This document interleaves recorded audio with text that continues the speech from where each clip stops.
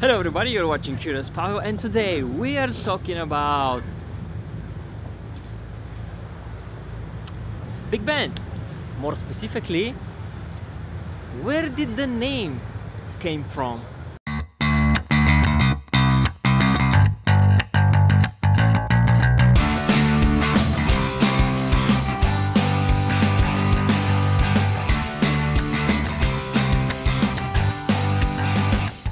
So, you are in London for sure.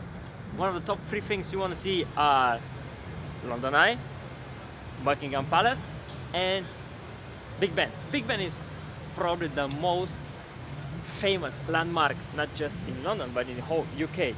And it's still probably the most misunderstood one. Why?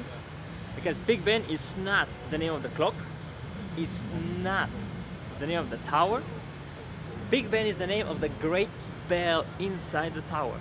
What I mean by the great bell is the tower inside has one big bell, Big Ben, and four small bells that chime on each quarter of an hour, which means 15, half an hour, 45 minutes.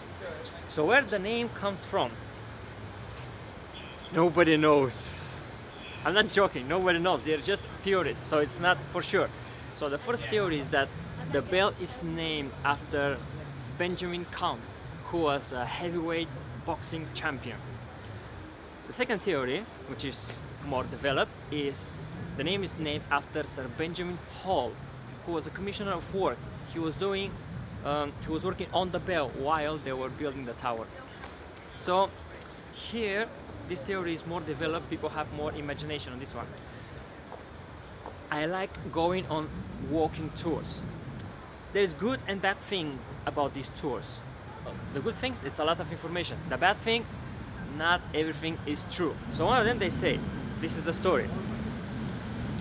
Benjamin was a big guy. And he was obsessed with the bell. So he was talking all the time about the bell. One day, he stood in the parliament and he was talking for two hours about the bell, how difficult to hang and all this stuff.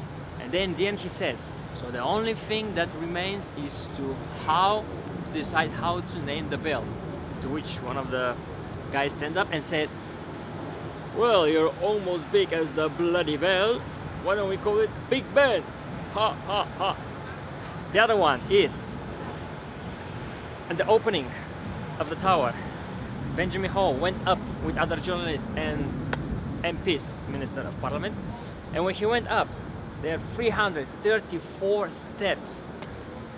He was sweaty, tired, out of breath, leaning at the bell, to which one of the journalists turned to him, saw him, turned to the rest of the crowd and said, perhaps we should call this bell Big Ben because they are roughly the same size. and the third theory, which I believe the most, is Benjamin, it was on the bell, it was engraved Benjamin. So the bell is stationary, it stays in one place, it's not moving. There's a hammer striking the bell all the time. Before they insert the bell in the tower, they were testing it every day in front of the tower. So all the workers who were testing it like Benjamin, Benjamin, Big Ben, Big Bell, Big Bell. That's where it came from.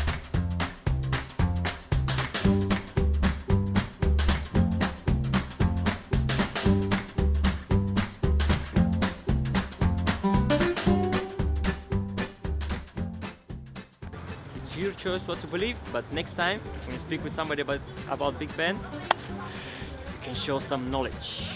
I hope you like this video. I really hope you like it. I really hope you share it. So please do, please subscribe, and I'll see you next time.